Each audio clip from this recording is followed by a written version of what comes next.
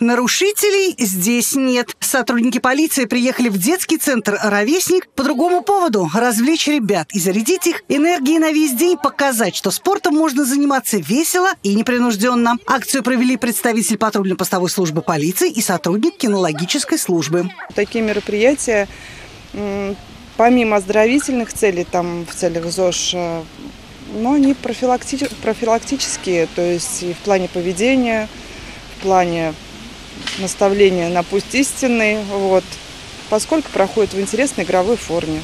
Под музыку взрослые дети выполнили комплекс упражнений. Общественники рассказали детям о важности физической активности в жизни каждого человека, а полицейские о том, как стражи порядка поддерживают себя в хорошей физической форме. Полицейский рассказал детям о непростой службе и пожелал ребятам расти здоровыми, сильными, заниматься спортом и вести здоровый образ жизни.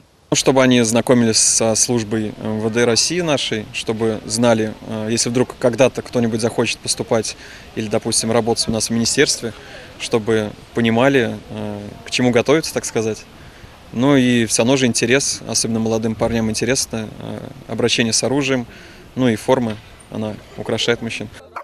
Яркий момент для ребят – встреча с служебными собаками. Сотрудник кинологического центра продемонстрировала умения и навыки своих четвероногих помощников, после чего дети могли поиграть с питомцами, погладить их и сфотографироваться на память. Перед воспитанниками центра выступила служебная собака Барс. Кинолог рассказал о том, что умеют полицейские собаки, и продемонстрировала небольшой мастер-класс по дрессировке своего напарника.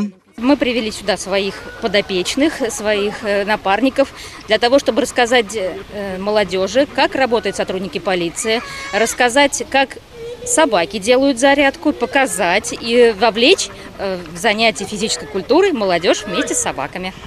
Помимо пропаганды здорового образа жизни, у этой акции еще одна важная цель – повышение доверия к органам внутренних дел, открытость полицейских для подростков. Елена Чернявская, Григорий Плешаков. События.